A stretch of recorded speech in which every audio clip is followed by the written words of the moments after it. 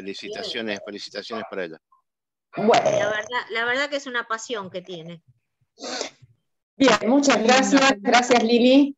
Gracias a todos. Ya nos hemos ido sumando, eh, muy puntuales, así que vamos a empezar.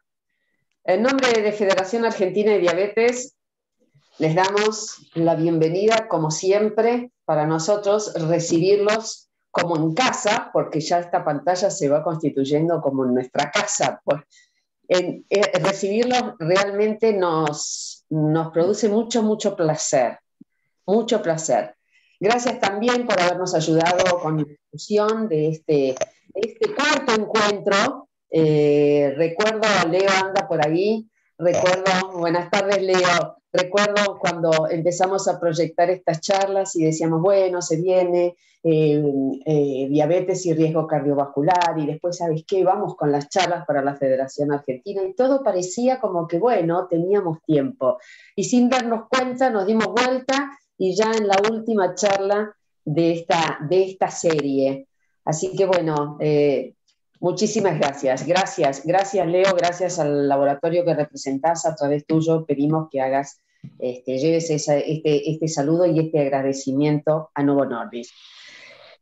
Bueno, hoy la verdad nos volvemos a, encontrar, pero ¿qué va a ser como una, una reunión especial también.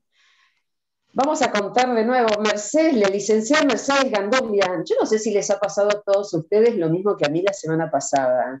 Sorprendidísima con esto de la lectura de etiquetas. Empecé a prestar atención, pero de una manera mucho más, mucho más entretenida. Mucho más entretenida, ya no tan obligada a mirar la lectura de etiquetas por mirarla, sino de esta manera es como que encendiste una mechita. Mechi, Muchas gracias. gracias por tu ayuda. Hoy nos acompaña nuevamente la licenciada Mercedes Ganduglia, que este, va a llevar adelante también esta charla. Por supuesto, Marcelita de la Plaza, nuestra Marcela de la Plaza, nuevamente aquí. Ella los viernes tiene curso, pero confesó que se sale del curso un ratito para acompañarnos en todo lo que tiene que ver también con nutrición. Y en algún en algún lugar de la pantalla, en algún recuadro de la pantalla, ustedes están viendo algo especial que está fuera, fuera de lo común para nosotros. Por ahí hay una mesa con un montón de platos eh, y con quién eh, nos vamos a encontrar. Rodrigo Cascón. Rodrigo, muchísimas, muchísimas gracias por estar con nosotros. Seguramente este encuentro nos va a marcar bastante, bastante, bastante por la presentación que nos vas a hacer. Rodrigo Cascón, chef, les cuento a todos, y ahora sí les voy a contar algo re interesante. Rodrigo eh, Cascón es el chef de un programa que muchos, muchos de nosotros vemos, que es La Peña del Morfi. Así que bueno, miren ustedes este ratito, esta hora que nos la dediques Muchísimas gracias, Rodrigo. Así que bueno, dejo en manos de ustedes toda esta, toda esta mm, presentación. Los últimos minutos nos volvemos a reencontrar. Un pedido, por favor. Apaguen los micrófonos, el mismo pedido de todos los encuentros, apaguen los, eh, o sea, perdón, sí, apaguen los, micrófonos, tengan encendidas las camaritas de video para ver quiénes están detrás de cada recuadrito que tenemos y nos volvemos a encontrar. Muchísimas, muchísimas gracias. Mechi, Marcela, Rodrigo, todos ustedes, arranquen cuando ustedes quieran. Mechi, vos que no conoces a Rodrigo, también querés avanzar, querés arrancar. Bueno, dale, perfecto. Muy bueno. Bueno, muchas gracias Judith. Y bueno, como estaba diciendo Judith, la semana pasada estuvimos aprendiendo a leer etiquetas, a detectar sodio, a detectar grasas y vimos un montón de alimentos que nos resultaron alarmantes y que dijimos, bueno, no queremos comer la versión procesada. Entonces la idea hoy es traerles la posibilidad de hacer preparaciones en su casa mucho más ricas, más saludables, porque tener diabetes no implica que tengamos que comer alimentos que no sean sabrosos y que no nos resulten agradables. Todo lo contrario, podemos comer nutritivo y sabroso. Así que por eso le damos la bienvenida a Rodrigo. Muchísimas gracias, Rodrigo, por acompañarnos y escuchar de tu boca toda la propuesta que tenés para nosotros para consumir alimentos con menor contenido de sodio, mayor contenido de, fibra y grasas buenas, que es lo que quisimos reemplazar la vez pasada. Exactamente. Bueno, muy buenas tardes a todos. Eh, bueno, muchísimas gracias. Primero quiero agradecerle también a todos por estar acá. Obviamente a Leo y a Judith también por haber confiado en mí, al laboratorio Novo Nordis y bueno, y obviamente a Mechi y a Mercedes que me va a acompañar en esta, en esta charla como para poder enseñar cómo hacemos para comer nutritivo, para comer sano, pero también que sea sabroso, que no sea simplemente comer algo que sea insulso, pero como si no le pongo sal, como logro que tenga sabor. Hay un montón de opciones, tenemos opciones, vamos, estuvimos pensando con Mechi para ver qué, por dónde arrancar y qué recorrido gastronómico podemos hacer para poder ayudarlos a ustedes a poder comer en sus casas de una manera sana, enterarse el por qué, porque Mechi nos va a estar contando también la parte nutricional y la parte más, más eh, vendría a ser más de, salud, más para, para, estas cosas, y yo la parte más de la parte más eh, de sabores.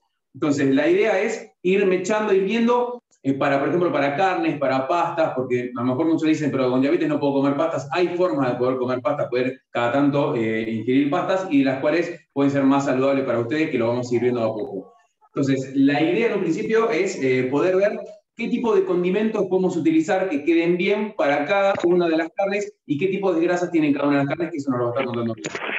Entonces, obviamente, lo que yo le voy a enseñar en este momento y en el día de hoy son opciones y son ideas mías que eh, se me ocurrieron para poder eh, llevar a ustedes, ayudarlos a que puedan cocinar algo rico y que sea saludable.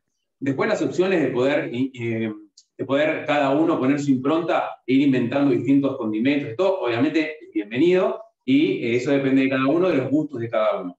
Pero por ejemplo acá ven mucho color, ¿no? Bueno, yo estoy viendo acá distintos tipos de, son tres platos distintos y uno aparte que tiene, que es el básico. El básico vendría a ser lo que queda, lo que uno, eh, por lo general, utiliza siempre en como condimentos. Que tenemos, entonces, en este caso, tenemos pimienta, que acá tengo pimienta rosa, pero puede ser la pimienta que ustedes quieran, negra, blanca, verde, rosa, eso depende de lo que guste, o un mix de pimientas que queda muy bien como para poder, de repente, en los sabores, cuando no, utilizamos sodio, no, ponemos, no utilizamos sal, que tengan distintos tipos de picores, distintos tipos de, intensidades, ayuda a que el paladar se sienta eh, mucho más sabroso la comida. Entonces, tenemos pimienta, tenemos por este lado también perejil, ajo, o provenzal, si lo compran mezclado, que puede ser hacer también, y tenemos pimentón y... ¿Cómo? Este chef. Ah, pensé que me estaban hablando Bueno, la, idea, la idea de estos condimentos es que son los básicos, los que uno utiliza para todo, tanto para carnes, para, para todo tipo de carne, para pollo, para carnes rojas, para pescados, son los condimentos básicos. Ahora, ¿con qué los podemos combinar para distintos tipos de carnes? Por ejemplo, tenemos para carne roja. La carne roja tiene mucho sabor y está bueno ponerle a lo mejor algo eh, que, sea, que, levante un poco la, parte del picor. Entonces le podemos poner, por ejemplo, ají molido. Ají molido, si bien queda bien con el pollo también, con el pollo tengo unas opciones distintas como para poder sumarle a ustedes, a lo mejor al repertorio que tienen de condimentos, poder sumarle algo nuevo. Entonces tenemos para las carnes rojas, a poner páprica, que es como un pimentón picante, que nos vale realzar y va a quedar bien. Tenemos ají molido, que también pica un poco. Y tenemos comino, que comino queda muy bien para todo lo que sean rellenos, por ejemplo, con las, empanadas que se pongan comino, lo va a levantar y es, eh, un sabor particular que va a quedar muy bien con las carnes rojas, con los rellenos de carnes rojas. Ahora, en todos esto, estos condimentos que estamos viendo nosotros ahora, son muy invasivos. Entonces siempre hay que tener cuidado en la combinación. Si lo vamos a combinar con los básicos que tenemos acá, vamos a poner mayor cantidad de condimentos básicos y vamos a aportar una puntita de cuchara de cada uno de estos condimentos. A lo mejor, si te gusta muy picante, puedes poner mucho ají molido, puedes poner mucho páprica, eso depende de cada uno. Si te gusta un poco, un poco picoso, le pones muy poquito. Y comino siempre es una cucharita, una, punta de cuchara para poder ir probando y de última se puede rectificar el sabor al final. Pero son invasivos, entonces de estos condimentos usen la cantidad que a ustedes les guste a placer de cada uno.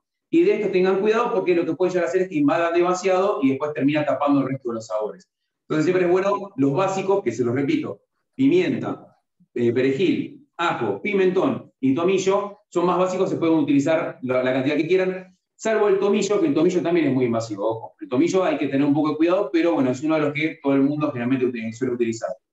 Bueno, para carnes rojas estamos acá con estos condimentos. Tenemos, por ejemplo, para pollo para pollo tenemos, eh, podemos condimentar con limón y lima, que todo el mundo a lo mejor siempre cuando condimenta usa el líquido nada más. Yo les recomiendo una cosa, para que tenga mucho más intensidad y se sienta mucho mejor, usen la cáscara de la lima y del limón. O sea, nosotros agarran, agarran un cester que son, o un rallador grande, primero lo limpian bien y le van a rayar la, cáscara, tanto, o sea, siempre el color, la parte amarilla o la parte verde en el caso de lo que, es, eh, lo que serían las limas. No lleguen hasta la parte blanca. Cuando ustedes van rayando y van viendo que queda blanco, ya eso va a pasar a ser medio amargo. Entonces ustedes lo van girando y utilizan todo el contorno, toda la cáscara de la, de la lima, la parte de color. Si es lima, la parte verde, si es eh, limón, la parte amarilla. Entonces, esto va a quedar muy bien y le va a aportar un sabor distinto, no solamente la acidez de limón, sino que le va a aportar un, sabor a limón que va a reemplazar lo que uno siempre busca con el sodio, o sea, que sentir más allá del gusto de la carne, sentirle un gusto extra. Bueno, el gusto extra se lo damos con la cáscara, por ejemplo. Tenemos también, eh, acá tenemos curry, que el curry es una combinación de más de 25 especias. Hay tanto cantidad de curry como cantidad de personas en la India. O sea, cada, cada familia en la India tiene su propia receta de curry y son recetas que tienen más de 25 especias y por eso cada uno, cada vez que compras un curry, no es igual al otro, porque a lo mejor tienen distintas proporciones y distintos ingredientes, no que tienen ingredientes particulares, sino que se pueden poner, se puede armar a gusto de cada uno eso. Entonces tenemos curry y tenemos acá también cúrcuma, que la cúrcuma queda muy bien cuando hacemos, por ejemplo, algún arroz con pollo o algo así, le queremos dar color y dar un sabor distinto, la cúrcuma ayuda mucho.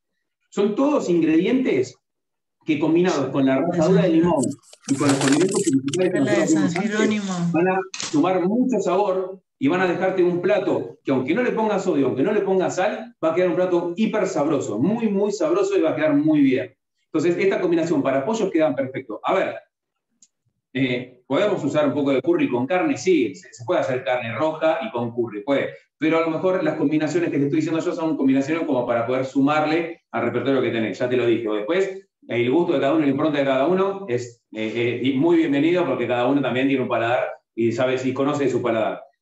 Y para pescado, por ejemplo, tenemos, acá tenemos cilantro, el cilantro queda muy bien, es muy fresco, tenemos eneldo, el eneldo es algo que no utiliza mucho la gente porque no lo conoce mucho. Es realmente, es, es, similar a lo que es el cilantro, pero es un poco más suave, no es tan alimonado como el cilantro. Y queda muy bien para lo que todo lo que es pescado, para hacer eh, tipo eh, a lo mejor un pescado eh, con limón y cilantro. Por ejemplo, este dije limón para el pollo, pero el limón queda muy bien con el pescado también. Acá te digo que también tenemos en el pescado tenemos laurel. El laurel queda muy bien y lo que podemos llegar a hacer, en vez de usar la hojita como para que, en este caso, si nosotros queremos tener el laurel y tener buena cantidad de sabor, podemos romperlo y lo procesamos junto con una combinación de, otros de, otros sazonamientos, o sea, de otros, otros ingredientes que tengamos acá para poder, para, para poder especiar.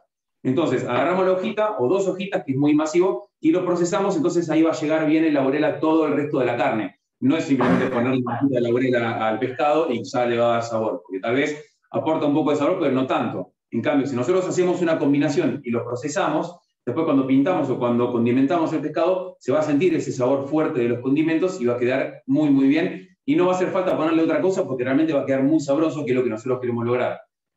Entonces, tenemos, dijimos, cilantro, laurel y eneldo para lo que es pescados. Si consiguen deshidratados, pueden hacer sus, propios mezclas, su propia mezcla de especias, ya directamente procesando los, ingredientes. Si ya los consiguen frescos, como los tengo yo, no conviene mucho procesarlos, a no ser que queramos hacer una pasta para después pintar el pescado y llevarlo a la cocción, que va a quedar muy bien. Pero para poder guardarlo, siempre eh, consigan condimentos deshidratados para poder armar sus propias especias y eh, guardar las especias ya para poder utilizarlo de acuerdo a la carne que quieran usar. Pero ya acá tenemos entonces lo que sería carne roja, eh, lo que sería la carne de pollo y lo que sería la carne de pescado, junto con los condimentos básicos. Más o menos esto, no sé si alguno tiene una duda o si ya se entendió bien la diferencia o si ya si necesitan que les recuerde alguno de los condimentos en realidad. Creo que estamos bien. Y ahora Mechim nos quería contar también, me parecía importante, conocer las distintas grasas que tiene cada una de estas carnes para ver cuál es la que más conviene en, este, en esta situación, teniendo diabetes, cuál es la mejor, cuál es la que uno puede comer todos los días, cuál es la que a lo mejor puedes comer cada tanto, pero no sea algo que, abuses de, esa carne, porque a lo mejor eh, no es tan saludable como si, como a lo mejor porque comer pescado o algo. Así que Mechi nos va a contar los distintos tipos de grasas y cuáles son las carnes que nos convienen. Bueno, gracias, Rodrigo. La verdad que espectacular las combinaciones, me las anoté también, cualquier cosa para repetir. Em, bueno, Argentina, los argentinos somos mucho de la carne roja. En realidad, si nosotros pudiésemos hacer un cambio saludable, es mejor empezar a incorporar más carnes blancas, o sea, reemplazar algo de los cortes de carnes rojas por carnes blancas. Ya nos dio Rodrigo ideas para los pescados. Los pescados blancos son los más magros de todos, los que menos grasas tienen, eh, y qué ideas podemos tener para condimentarlos sin estar usando sal.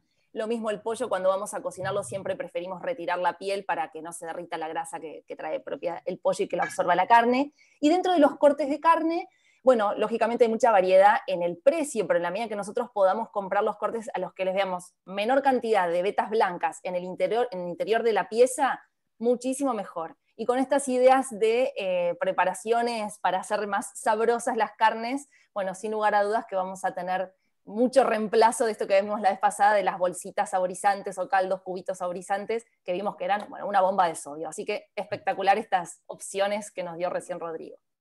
Sí, no solo, no solo una, bomba de sodio, ese tipo de bolsitas, lo que muchos también no saben y que consumen mucho, es que cuando arman la bolsita le ponen todo eso que está explotado de sodio, que realmente es completamente opuesto a lo que es saludable, es que cuando, cuando empiezan a agarrar los cubos, se está cocinando en su propia grasa.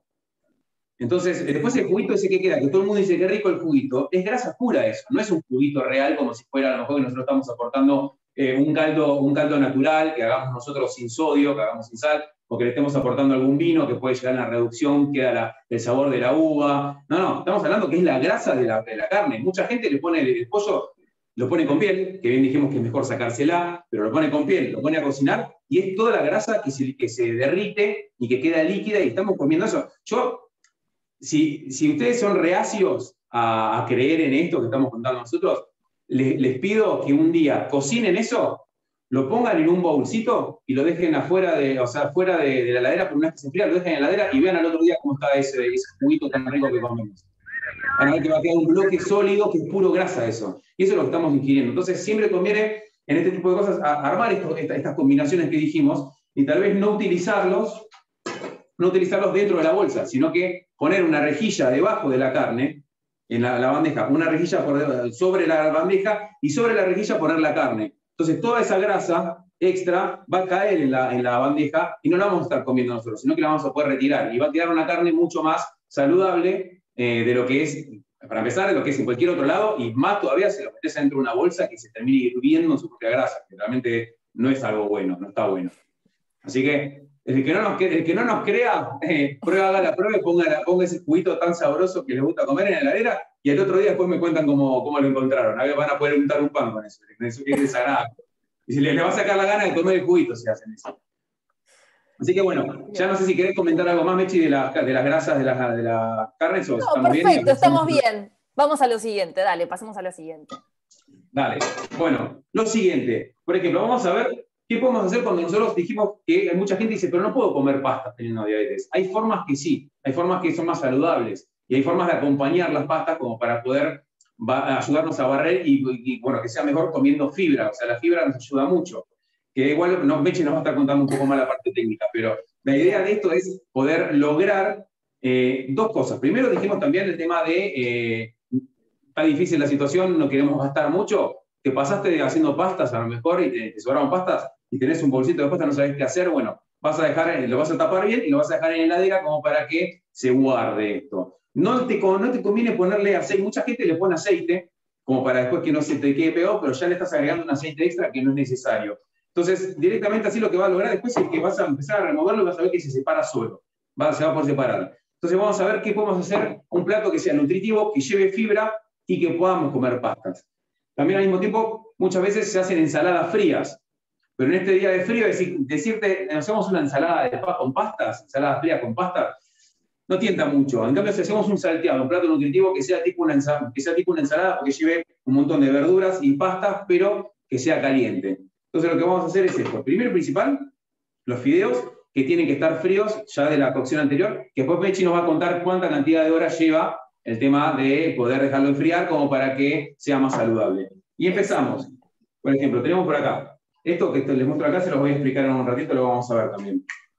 Ahí, para no usar tanto aceite, directamente ahí. Y si querés usar menos aceite, porque a lo mejor el spray que vos tenés tira demasiado, lo que vas a hacer es agarrar una servilletita, una servilleta, y vas a pasarla ahí. Entonces, la idea es utilizar, utilizar la menor cantidad de eh, aceite posible. Ponen un poco de aceite, le pasan la servilleta y tiene que, que ver que queda brillante. Ven la olla que está brillante, eso significa que todavía hay aceite. No es necesario que, esté eh, chorreado de aceite. Y sobre esto vamos a ir directamente con, entonces, ponemos morrón rojo, tenemos zucchini y tenemos cebolla. Ahí, le damos un par de vueltitas y mientras le voy a contar que tenemos morrón amarillo también, por acá. Morrón amarillo es más dulzón. ¿Saben que yo tengo una, una discusión con el, con verdurero que, que, voy siempre yo? Que es justamente que pocas veces tiene morrón amarillo, y dice, pero no me lo compra nadie. Y digo, pero porque la gente no lo conoce. La gente no compra lo que no conoce, tiene miedo de comprar lo que no conoce. Y realmente el morrón amarillo, para mí, es uno de los mejores morrones que hay porque eh, es mucho más dulzón y queda muy, muy bien para todo lo que sean los salteados y también para hacer pastas. Por ejemplo, cuando nosotros, estoy diciendo por darle sabor a algo, eh, lo, que, lo que tenés que hacer es agarrar un morrón así, en vez del morrón rojo, agarras un morrón de estos amarillos y lo vas a llevar al horno, horno directo. que hay una, hay una pantalla no cambió nada, ¿no? Porque estaba. se, ve perfecto. El morrón amarillo lo que tiene es que es más dulzón. Entonces, para hacer una pasta, por ejemplo, para después pintar el pollo o para pintar una carne, llevas el morrón entero, como lo ves así al horno, que se, que se queme todo por fuera, o sea, lo dejas cocinar bien. Que se queme. Eh, Rodri, se te dio vuelta la cámara. A ver. Ahí va. Ahí estás. Bueno, lo deja que se queme directamente con la piel y todo, así como está, sin la ceniza, lo van a procesar. Lo pueden procesar bien con un poco de queso crema, que sea, que sea saludable, que sea bajo en grasas, y va a quedar una pastita que va a quedar muy puede comer. ¿Cómo? ¿Alguien quiere comer ahí? Micrófono abierto. Sí, me es que con lo que están viendo todos tenemos ganas de comer. Oye, mucho color. Además, mucho color significa que es algo bueno porque tiene un montón de vitaminas distintas, está bueno para poder alimentar el cuerpo. Así que cuando vean con mucho color, rojo, verde, amarillo, todo significa que estamos por buen camino, en realidad. Así que va bien. Ahora, ¿qué le vamos a poner? De la mezcla que nosotros vimos acá, que vimos de entrada, podemos ponerle ajo, que podemos ponerle ajo fresco, podemos poner ajo deshidratado, le vamos a poner un poco de perejil y le vamos a poner pimentón. Y un poquito de tomillo apenas, una puntita de tomillo también me queda bien.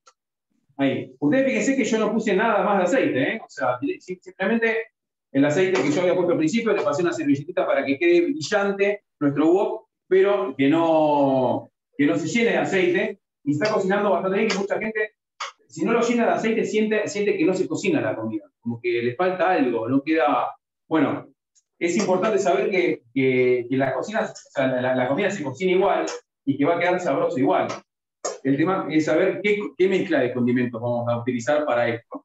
Ahora, una vez que ya salemos, lo bueno de lo que, lo que son los wok es dejarla, como decimos acá, nosotros los, chefs decimos que las verduras estén crocantes. ¿Qué significa crocante? Crocante significa que tienen que estar duras, no, significa que tienen que estar precocidas, pero el centro tiene que estar crudo. Entonces, cuando vos lo hagas los sartenes, no se te va a doblar todo, sino que va a quedar recto, va a quedar firme. Ahí, ¿se ve? Se ve que está tostadito, no sé si se ve. Se ve perfecto, buenísimo. Tostadito, se ve que está cocido, o sea, ya se puede comer. Pero... La ayuda a personas en crisis debe ser dada por un experto. No, no sé, no sé quién habló. No, me parece que había un micrófono abierto. Había un micrófono ah. abierto. Bueno, bueno, le das un par de vueltas. La idea es que te queden bien, bien crocantes. Cuando vos ves que ya está todo bien, medio cocido, pero sigue firme, en este momento le vamos a incorporar las pastas que teníamos ya frías, para, simplemente para levantar el, calor y levantarles el sabor. Ahí. Le damos un par de vueltas acá. No agregamos nada de aceite, no es necesario directamente. Le damos unas vueltas, salteamos un poco para que las pastas se empiecen a calentar y se empiece a mezclar con el resto de los ingredientes.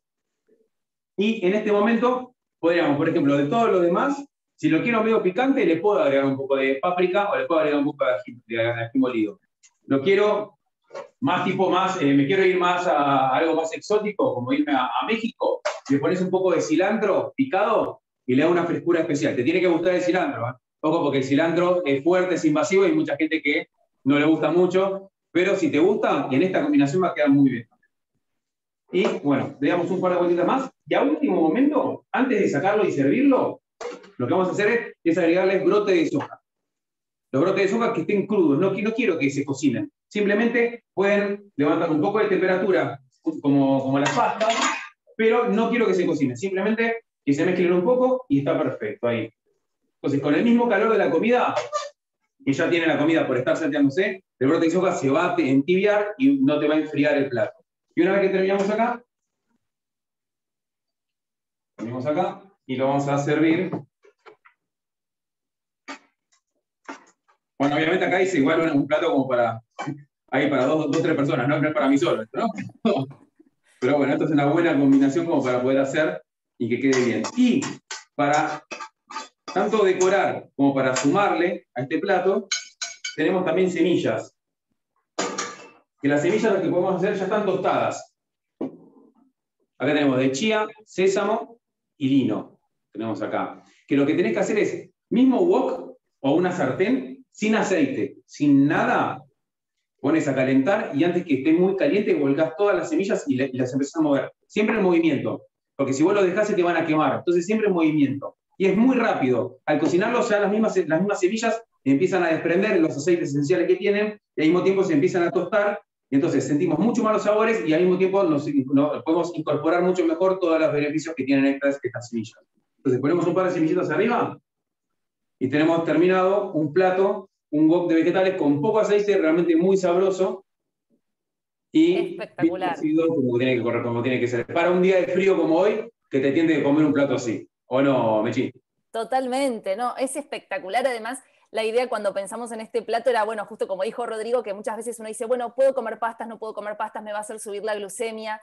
Y bueno, lo que siempre decimos es combinarlo con fibra, en este caso obviamente con vegetales y las fibras que nos traen las semillas, que son las que nos van a ayudar a bajar el índice glucémico de las pastas. Y un truquito que fue lo que comentó Rodrigo con esto de las pastas que estaban guardadas en la heladera, eh, cuando nosotros cocinamos el almidón, que viene adentro de las pastas, lo mismo puede pasar con la papa o la batata, y los dejamos enfriar en la heladera como mínimo tres horas, idealmente un poquito más, se forma algo que se llama eh, almidón resistente, que funciona como una fibra. O sea, el almidón que está presente en, en estos productos, en la papa, batata y en las pastas, se va a como gelatinizar.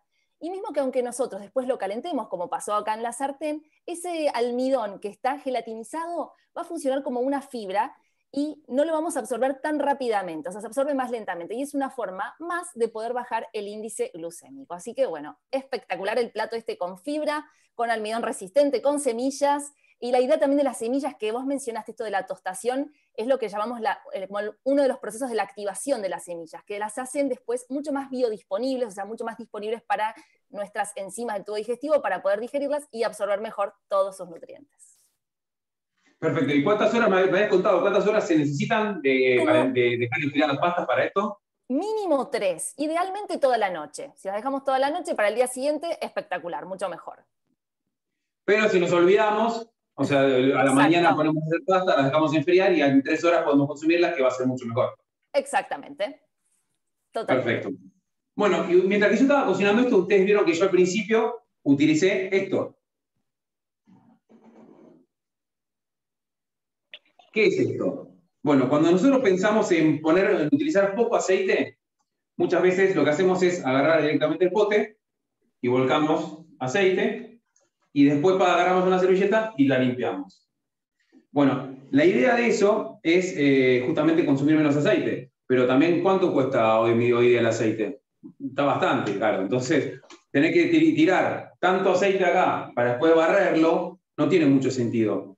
Y también lo que está caro son los sprays de aceite, los aerosoles de aceite. Bueno, entonces yo lo que les voy a enseñar ahora es una combinación de, condimentos para poder hacer un aceite, tu propio spray, pero que sea casero y que sea más, más económico. Entonces, lo que vas a hacer es porcionar el aceite como para que no tenga tanta cantidad de aceite y al mismo tiempo vas a poder saborizarlo, que es lo que nosotros queremos hacer también. En todo lo que sea estos condimentos, estas comidas, la idea es que tengan mucho sabor.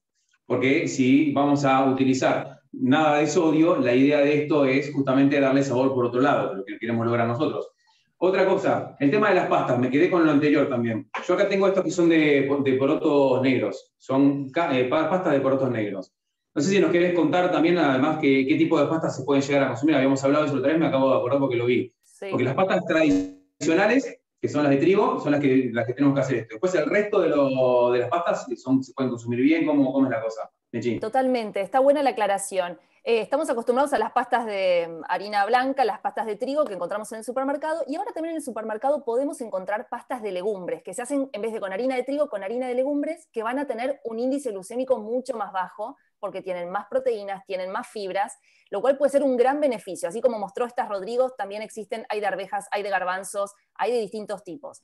Son el costo es un poquito más elevado, por eso está bueno también la otra opción que vimos, eh, combinando con fibra y el método este de ponerlo en la heladera, pero sí, es una gran alternativa. Si nos podemos eh, buscar estas pastas de legumbres, vamos a, sumar estos beneficios, además de que tienen mucha más fibra. Exactamente. Y les puedo asegurar una cosa. Yo, yo soy chef acá y yo, tengo, yo he probado y, no puedo mentirles. Una cosa, la pasta de trigo va a tener mucha más elasticidad. Ustedes cuando encuentren este tipo de pastas, son eh, como, como que se rompen más fácil. Al estar cocidas, no tienen, eh, no tienen eh, la, elasticidad que tienen las pastas tradicionales.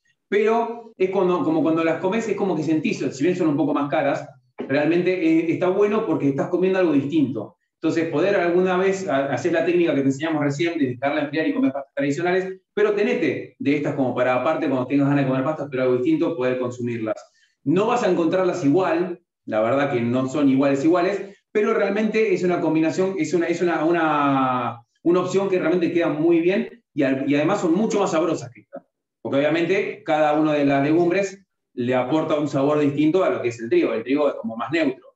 Estas de poroto negro, por ejemplo, son muy sabrosas. Tenés poroto rojo, tenés de, de, arvejas. Hay, hay, un montón de pastas distintos que le aportan también sabor y están muy buenos como opción, ¿no? Así que anótenlo porque está buena, está buena así. Bueno, lo que estábamos diciendo ahora también es el tema de los aceites.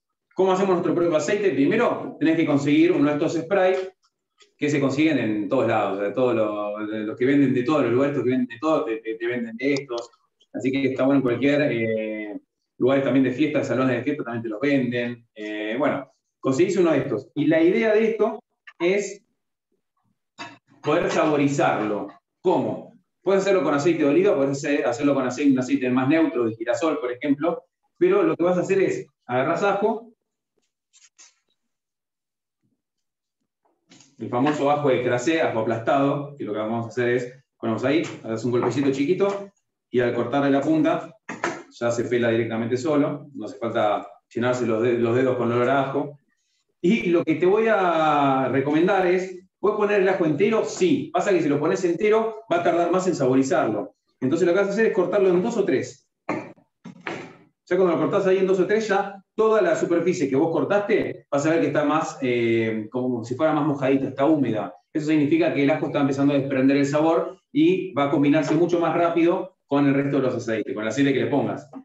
Y yo te doy un consejo, puedes ponerle tomillo, a mí me gusta mucho ponerle romero, por ejemplo acá hagas una una ramita de romero, más o menos le calculas el tamaño y lo vas a incorporar acá. Ahora, te recomiendo algo. ¿Viste cuando nosotros realzamos con las semillas? Que realzamos tostándolo. Bueno, el romero, si le das un par de golpecitos, también empezás a activar ahí, o rasparlo un poco, lo activás y se siente mucho más fuerte. Empieza a desprender mucho más el sabor, los aromas que tiene. Entonces, siempre que agarrás, le das un par de golpes y lo pones adentro. Y lo que vamos a hacer es llenar esto con aceite directamente. Es, una pavada, ¿eh? o sea, no, no, estoy enseñando ninguna técnica rara ni nada, pero realmente esto después te va, lo, va a ayudar a poder cocinar con mucho más sabor y ya tenés preparado, y al mismo tiempo tenés preparado tu spray como para no consumir tanto aceite y no gastar tanto aceite, que está caro y realmente está bueno en esta época poder aprender técnicas para ahorrar un poco. Entonces ya cuando haces así, ya tenés, ya empiezas a saborizar. ¿Te querés poner más ajo? ¿Podés? ¿Para qué? Para que sea más rápido el proceso. Si vos lo vas a hacer y lo vas a dejar para el otro día, con un diente de ajo te puedo asegurar que ya va a tomar todo el aceite, va a tomar el sabor. O sea, no es necesario meterle una cabeza de ajo entero. Con un diente está perfecto. Lo mismo con la ramita de romero. Vos dejarlo así, por, lo menos 24 horas ya va a tener sabor esto. de acá a mañana, a la mañana, va a tener un poco de sabor a ajo, pero cuanto más lo deje, más tiempo, más sabor va a empezar a incorporar. Entonces, y esto encima lo puedes guardar y lo puedes tener, ¿eh? no, es que se, o sea, no, no, no, te digo todo un año, pero ya con, por más que tenga productos frescos, el aceite lo va a conservar, al mismo tiempo va a quedar muy bien y el aceite va a tener mucho sabor. Entonces, esta es una buena forma para poder hacer tanto aceites de oliva como a lo mejor un aceite más neutro como un girasol, que Mechi nos va a contar también las diferencias entre el oliva y el girasol y cuál, cuáles son convenientes y, y, de qué forma poder consumirlo mejor. Bueno, ideal, o sea, espectacular esta propuesta para controlar las cantidades, para saborizar, eh, encontrarle otra vuelta a nuevos sabores. Y bueno, como dijimos, está buenísima, tenemos las dos propuestas del aceite de oliva, que muchas veces lo podemos usar para condimentar, eh, preparaciones y dar este sabor especial. Y vamos a tener las grasas buenas, que son los omega 9, que nos ayudan a tener bien el colesterol. Y por otro lado, el aceite común también, o sea, el aceite tradicional de girasol o de maíz, para aquellos que no les gusta un sabor tan invasivo, quizás como el oliva, eh, es otra alternativa. Y también nos aportan grasas buenas, son la fuente de las grasas omega 3, omega 6 que necesitamos también para cuidar la salud de nuestro corazón. Así que bienvenidas sean las dos propuestas. Bueno, acá Rodrigo en el chat van poniendo todos qué rico, excelente, muchas gracias. Están todos muy contentos con todas tus propuestas. Y nos preguntan eh, qué pasaba con las pastas de trigo integral. Aprovechamos a contestar acá, buenísimo si compramos pastas de trigo integral porque van a tener más fibra, así que es otra herramienta más también que tenemos para ayudarnos a que no nos suba tan rápido la glucemia. Y también preguntan por los fideos de arroz. Bueno, los fideos de arroz tienen la misma cantidad de hidratos de carbono que los fideos comunes, así que tendrán la particularidad de que sirven para aquellas personas que además son, eh, tienen celiaquía o que tienen que comer sin gluten.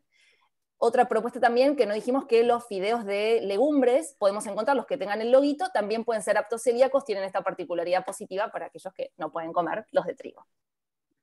Es verdad, es verdad. Y el tema de los aceites, ahí, ahí, bueno, lo hablamos nosotros, que está bueno porque las dudas que yo tengo a veces está bueno porque la gente a lo mejor también la tiene en la casa, o está mal informada o falsamente informada, como ocurrió.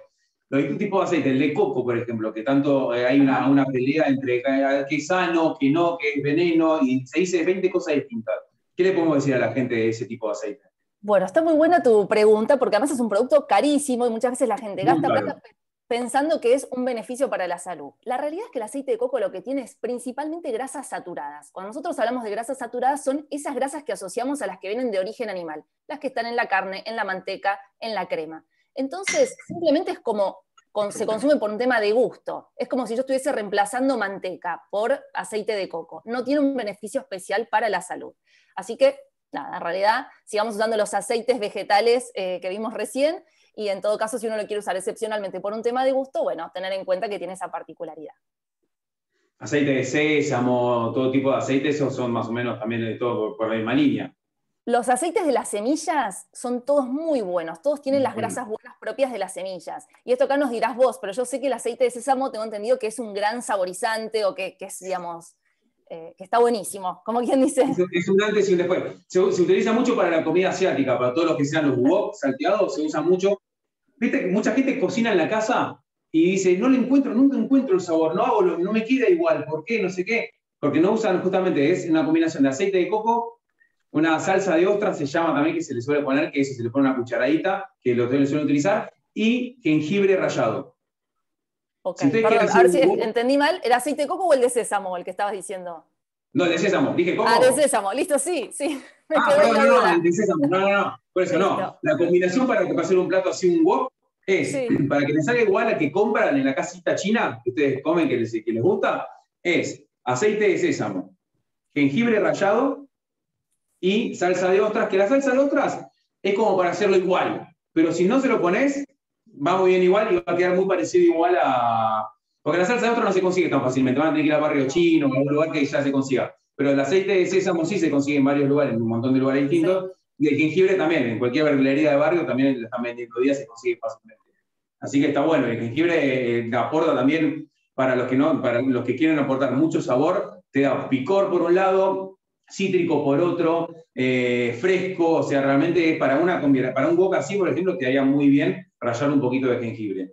Y siempre el jengibre es una raíz eh, que es alimonada y siempre es una cabecita nada más, es una puntita que se le pone apenas, porque también con muy poco de jengibre se sazona muy, muy bien y queda bueno.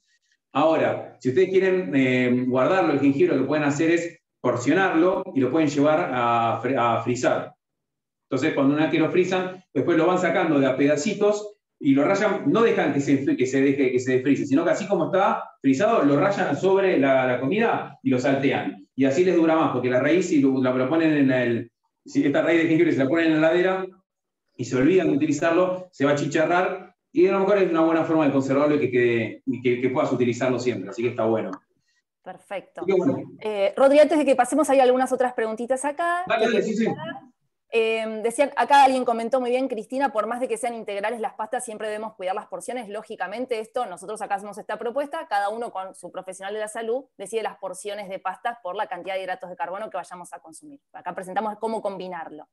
Y preguntan por el aceite de girasol, eh, porque tiene mucho omega 6 y no es conveniente. Está buena tu pregunta, Mercedes, también en realidad nosotros los argentinos tendemos a consumir un poco de omega 6 como naturalmente porque está, como ya vimos, presente en los aceites. Ese no es el problema. Lo que nosotros tenemos que sumar son las grasas omega 3 porque es la relación entre los omega 6 y los omega 3 los que cuida la salud cardiovascular. Que ahora en un ratito vamos a ver con Rodrigo otras opciones en las que también podemos incorporar omega 3, así que les contamos eso en un ratito.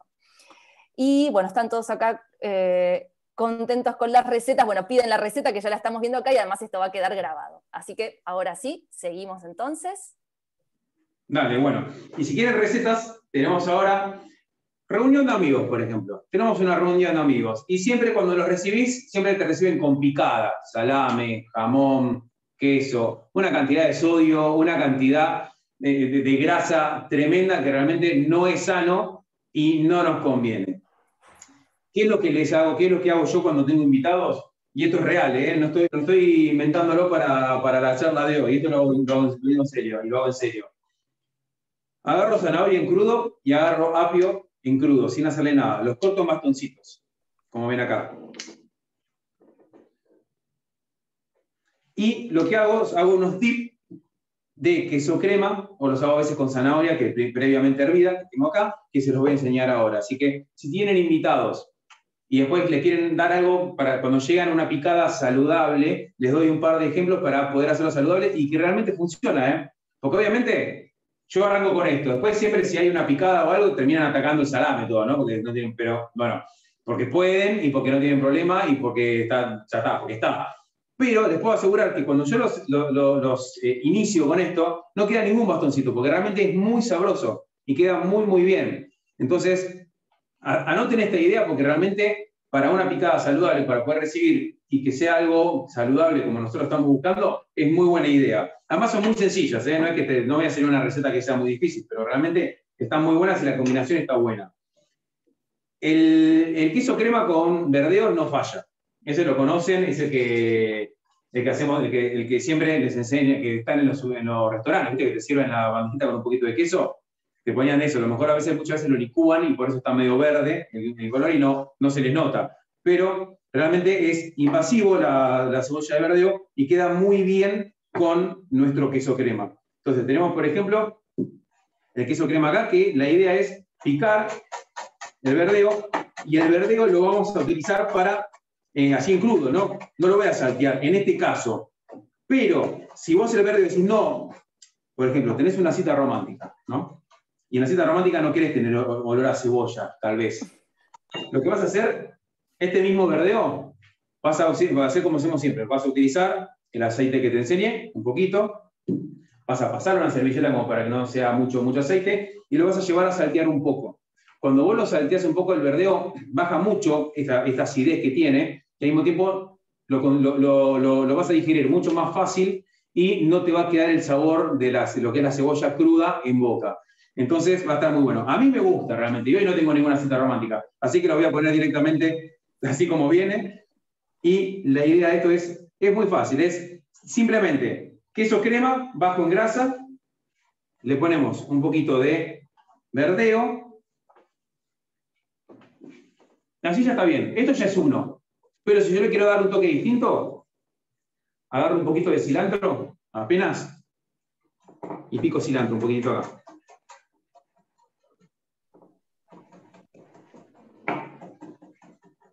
Ahí, como si fuera perejil, ¿eh? ahí el cilantro, y le incorporo un poquitito de cilantro que le va a aportar una, acidez, un sabor cítrico que va a quedar espectacular para esta combinación y para este dip. Entonces, y ahí simplemente es mezclar esto, ahí.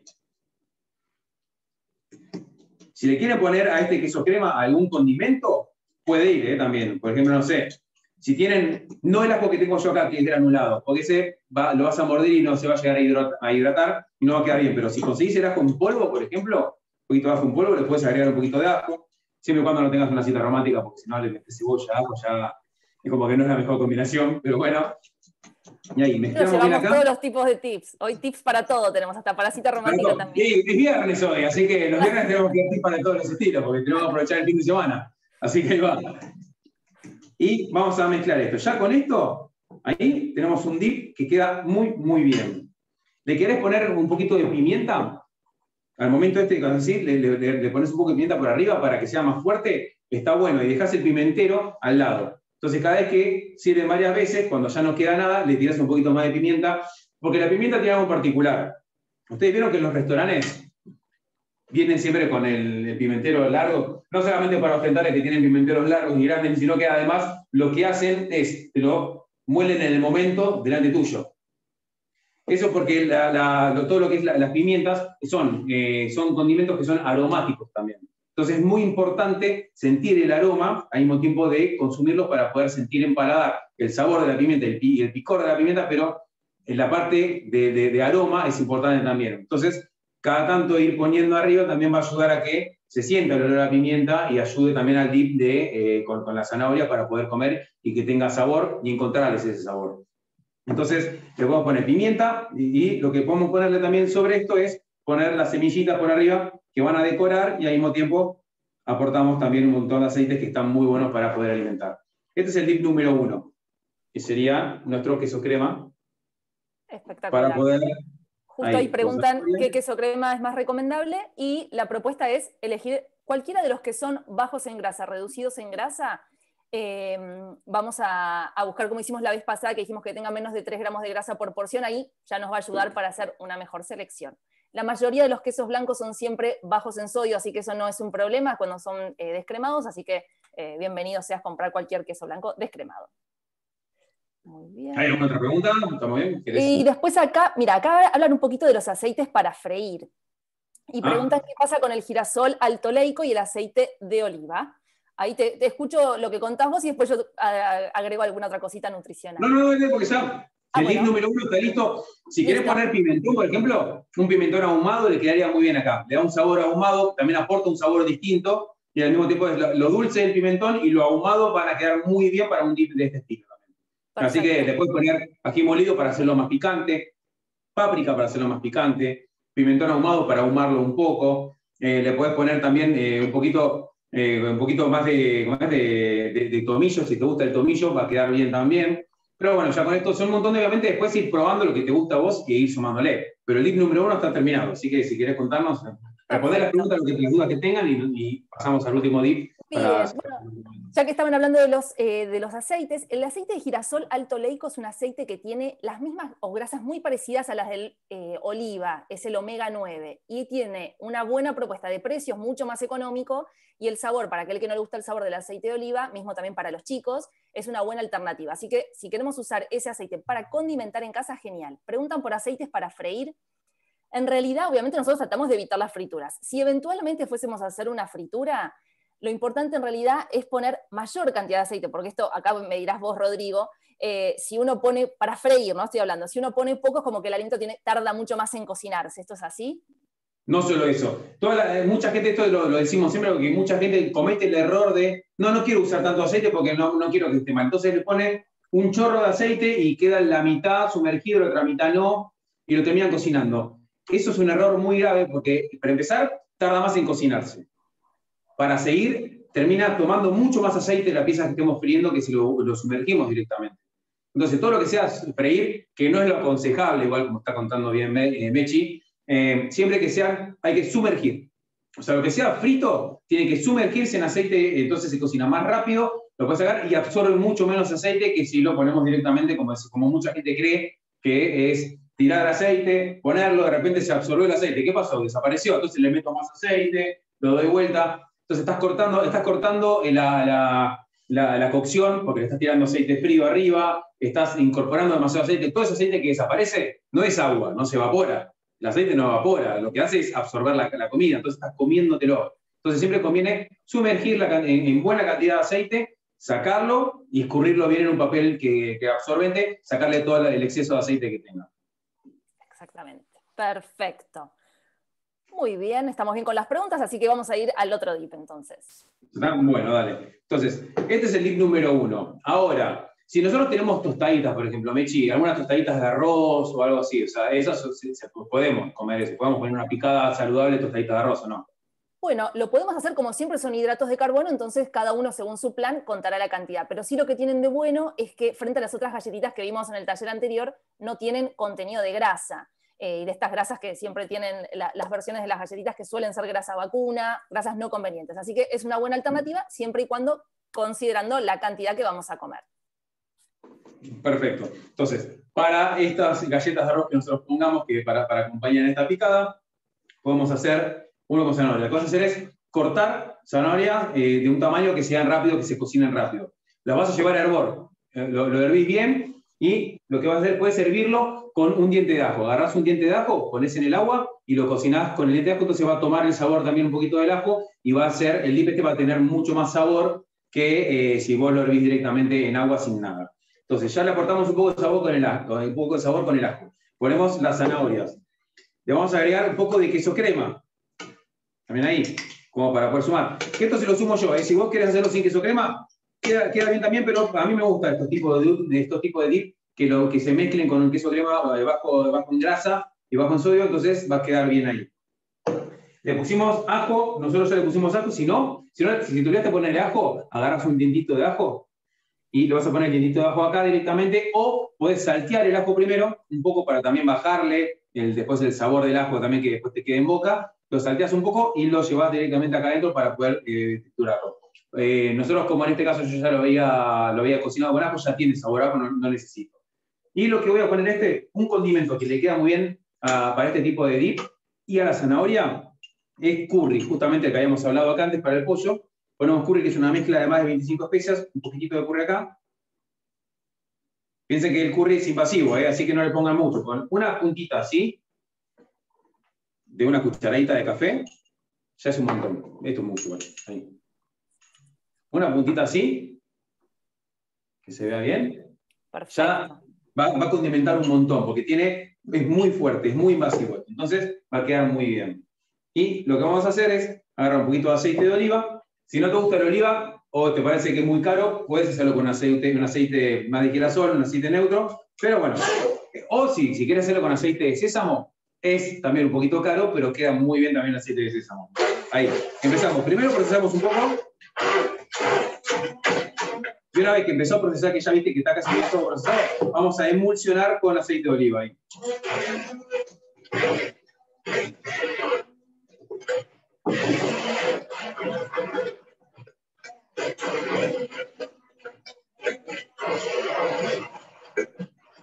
Yo soy fanático del aceite de oliva, o sea yo te puedo decir que va a aportar un sabor especial que va a quedar bien. Ahora eso, como les dije bien, todos los ejemplos que estuvimos viendo son a gusto mío y a gusto de lo que yo creo que le puede gustar a la gente. Vos particularmente, hacelo con el que te gusta a vos, obviamente, ¿no?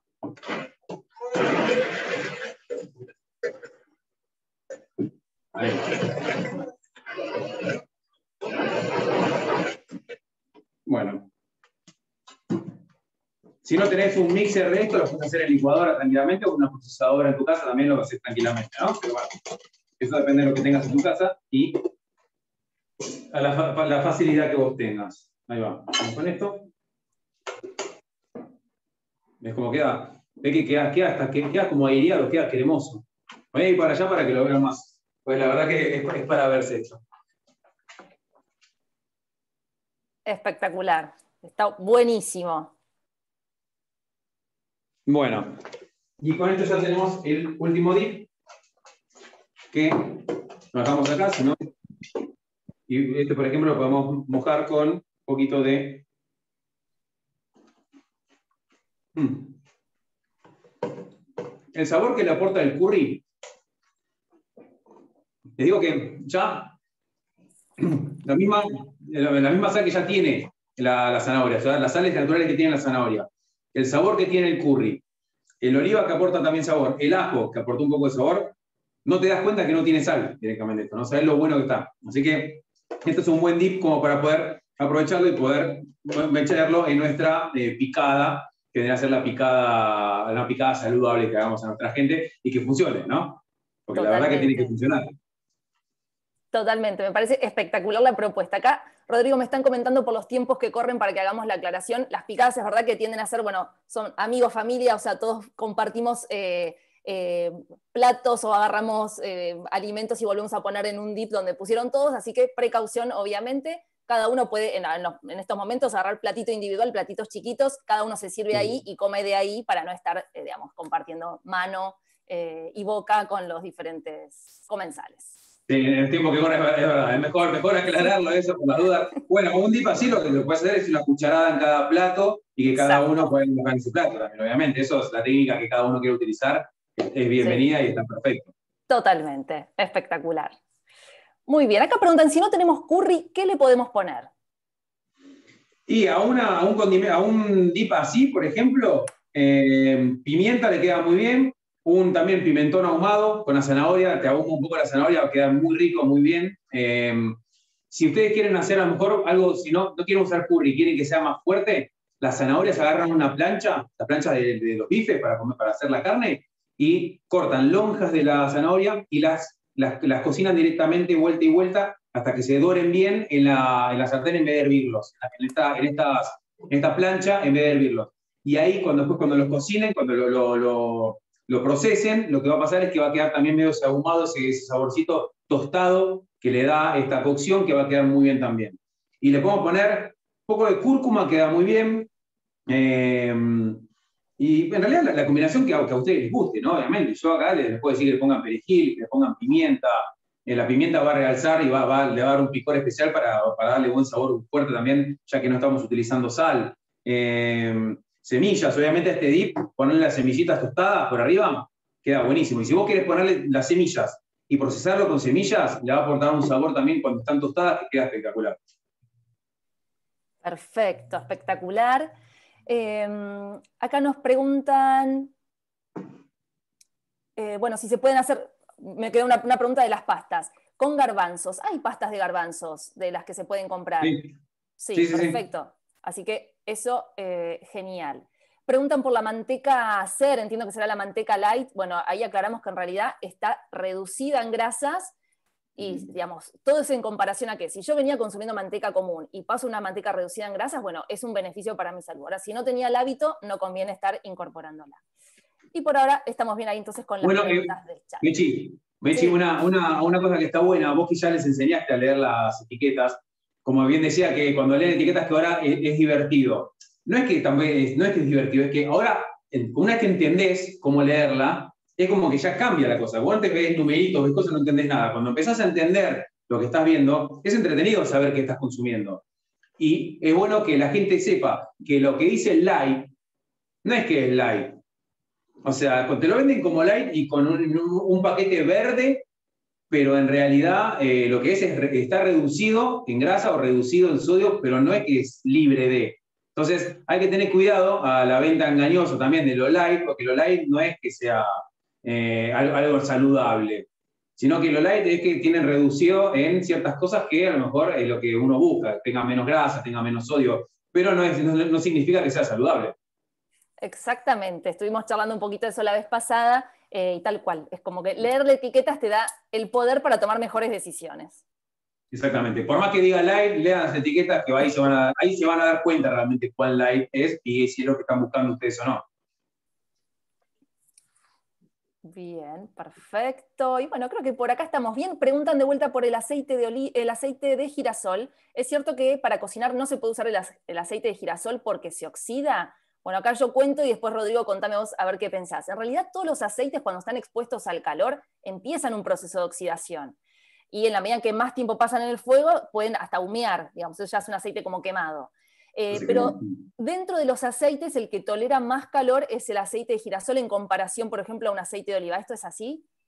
Sí, sí, es así. Ok, Sí, sí, de hecho se quema, se quema, o sea, resiste una temperatura mucho más elevada, tanto como la manteca, como de aceite de oliva, otros aceites, pero al mismo tiempo si empezó a ahumar, ya ahí ya no está bueno, porque ya se quemó un poco, se quemó el aceite y se, se oxida mucho más rápido.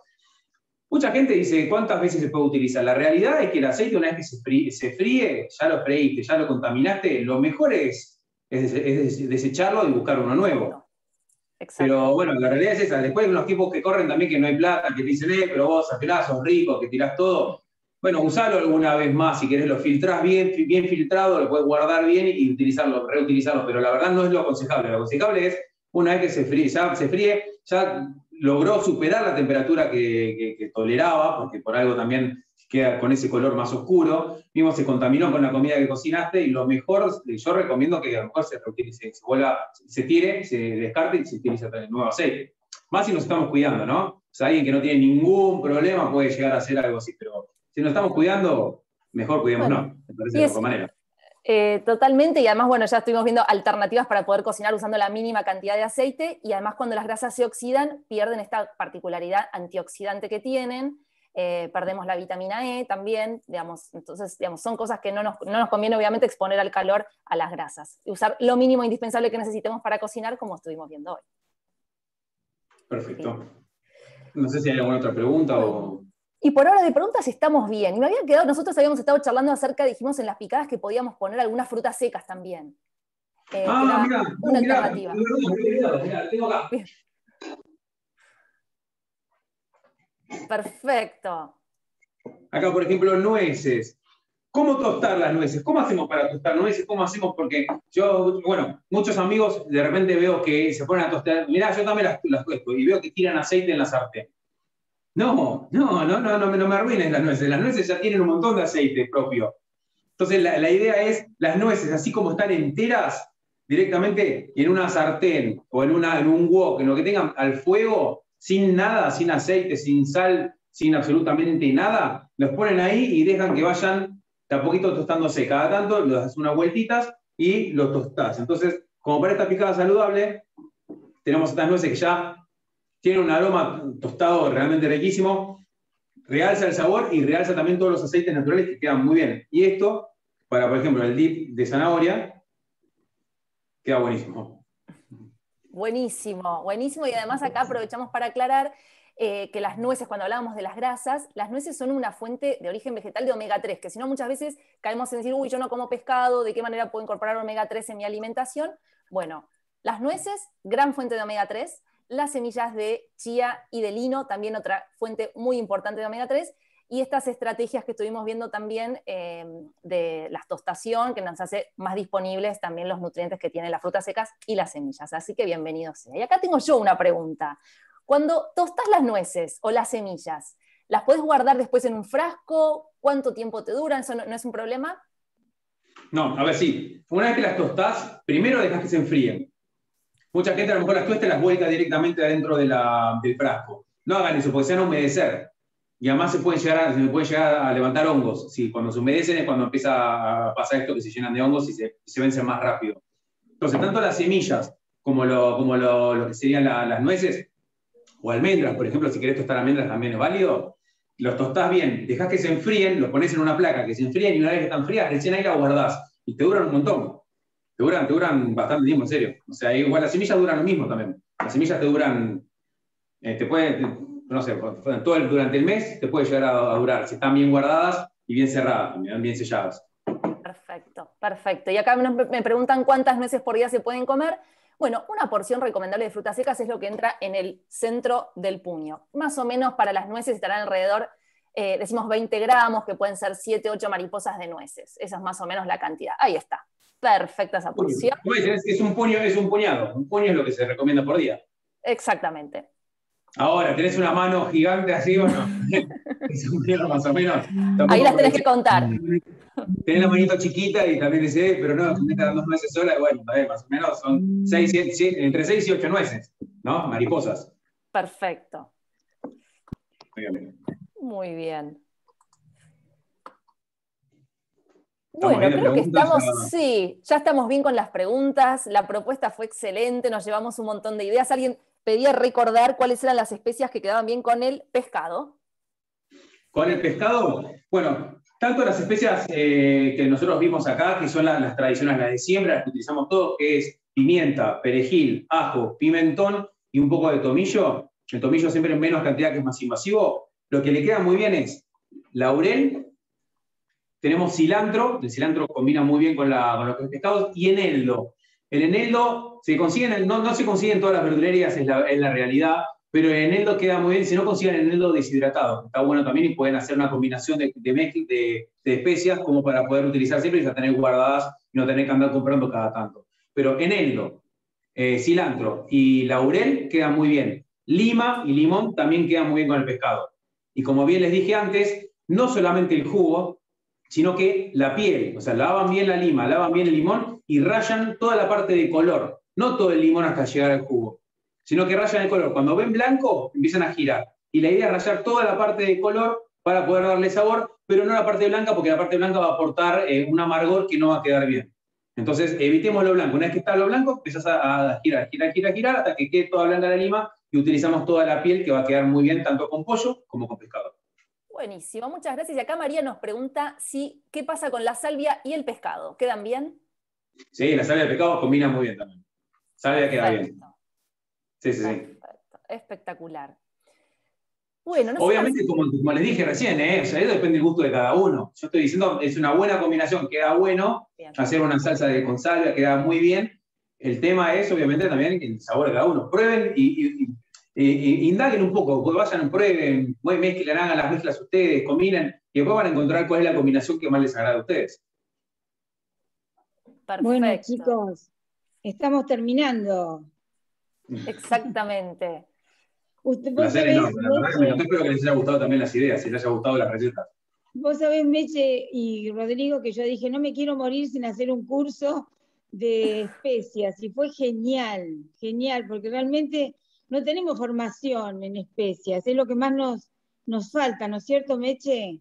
Sí, totalmente. Uno dice, bueno, les, reemplacemos la sal por especias y no sabemos cómo hacerlo. Y ah, creo que nos llevamos. Se terminó todo, ¿viste? Se nos terminó todo. O sea que fue genial, espectacular. Yo quería hacer algunas aclaraciones, poquitas. Eh, lo integral, cuando es de trigo, agrega fibra insoluble, o sea que es bien para mejorar la evacuación intestinal, pero no baja mucho el índice glucémico. Mejora más que nada el intestino, nos hace bien a todos, pero no baja el índice glucémico. Eh, lo otro que quería aclararte, y esto me parece muy importante en la parte médica, el sodio, eh, no, no todas las personas hipertensas son sensibles al sodio. Hay, hay personas que son muy sensibles y se nota un montón cuando bajan el sodio, y hay otras que no. Soy médica, es muy importante que estén bien medicados para la presión arterial. No se queden con que saco la sal y todo está. Tómense la presión menos de 14,9, 13,8 o menos. Ojo, porque estamos hablando de riesgo de infarto o de riesgo de ACV. Y otra cosa que me anoté es que no todas las personas con diabetes son gorditas, aunque son la gran mayoría, pero los tipo 1 hay muchos flaquitos, Mechi, y hay deportistas, y les tenemos que dar calorías. Y las calorías las tenemos que dar en grasas buenas, porque por tener diabetes también tienen aumentado el riesgo cardiovascular.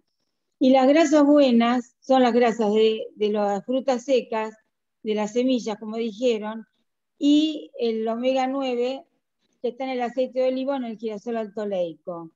Es muy importante, y como esos chicos pueden comer frituras, voy a hacer una corrección, chicos el aceite más estable al calor es el mono insaturado, que es el de oliva. Nadie va a freír en oliva en Argentina con lo que sale. Entonces usamos el girasol altoleico o, o, el de soja, que tiene bastante menos omega 6 y un poquito de omega 9 y un poquito de omega 3. El de soja está buenísimo, muy barato y se llama Sojola, es una de las marcas de supermercado. Así que para fritura saludable, cuando son flaquitos, oliva, girasol atoleico o aceite de soja. O si les parece el comentario piola. Y nada más, porque todo lo demás lo dijeron ustedes dos que estuvo genial, espectacular. Muchas gracias. Una, una, cosita más, con el tema de los condimentos, cuando nosotros queremos realzar mucho el tema de los condimentos, eso que hice yo recién, que, que golpeaba, que golpeaba el, romero, bueno, lo mismo, lo mismo es con, por ejemplo, si queremos usar orégano, por ejemplo, o perejil, que esté todos los, condimentos deshidratados, al momento de utilizarlo, una de dos, o se les da un, par de golpes como para que empiecen también a desprender el aceite, todos los aceites esenciales, o se los raspa. O sea, manos limpias, obviamente, los raspas bien y lo vas poniendo así raspado que con la misma temperatura que le vas a generar va a quedar mucho más sabroso y va a realzar todo el, aroma y el sabor. Excelente. Qué sencillo, ¿no? Es muy fácil, realmente es muy fácil. Son pequeños truquitos que ayudan mucho para poder eh, aportar más sabor a, lo que estemos haciendo. Genial, genial. No puedo creer el cursito que te mandaste de condimentación. Bueno, espero que les guste, espero que puedan utilizarlo y que, que realmente estas, combinaciones les gusten a ustedes. Que igualmente igual indaguen y, combinen, anímense a combinar a ver qué les gusta para que realmente así pueden llegar a encontrar una combinación que les guste más que las que les puede dar yo y la pueden utilizar y, la adoptan como propia. Buenísimo. Perfecto. Bueno, muchas gracias. Anda por ahí la Yu. Sí. Sí, sí. Judith no cocina un pito, así que no te metas Ahí está. Ahí está, bueno. Como me conocen, eh, no puedo decir lo contrario. Doy fe, doy fe, Rodrigo, Mechi, Marcela, Leo, que estuve anotando todo. Me perdí algo de las especies para la carne y le mandé un mensajito a Leo todas las especies, después pásamela, please. Este, como para que me las pase.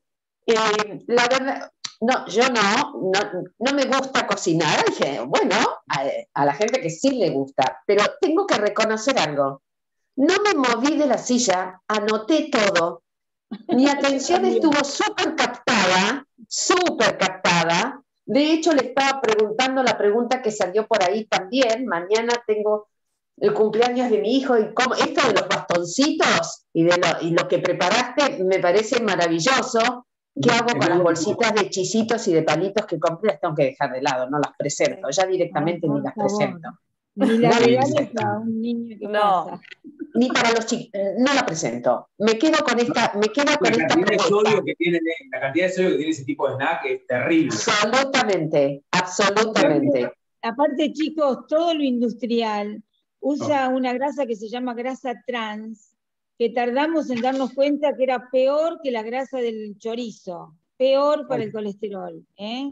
Va al hígado y del hígado sale colesterol a partir de la grasa industrial. O sea que es muy importante que esas cosas las tires al tacho de basura. No, no, no, no somos, no, no, no. Y una, y una cosa más. Son la, la picada, de la picada del snack es lo más caro encima, es lo más caro que hay. O sea, que encima te, te roban O sea que basta, basta de nada. A, mí me pareció fantástica esa propuesta también, eh, porque en un momento como este, el hecho de servirnos individualmente también fue abordada esta consulta. Es algo que realmente para tener en cuenta, ¿no? Eh, eh, Leo me decía en el chat con vasitos chiquitos de licor, ponerlos individuales, como para poder sostener esta propuesta que nos han hecho, maravillosa, gracias, este, y poderla llevar en un momento como este donde también tenemos que tener un poco más de cuidado.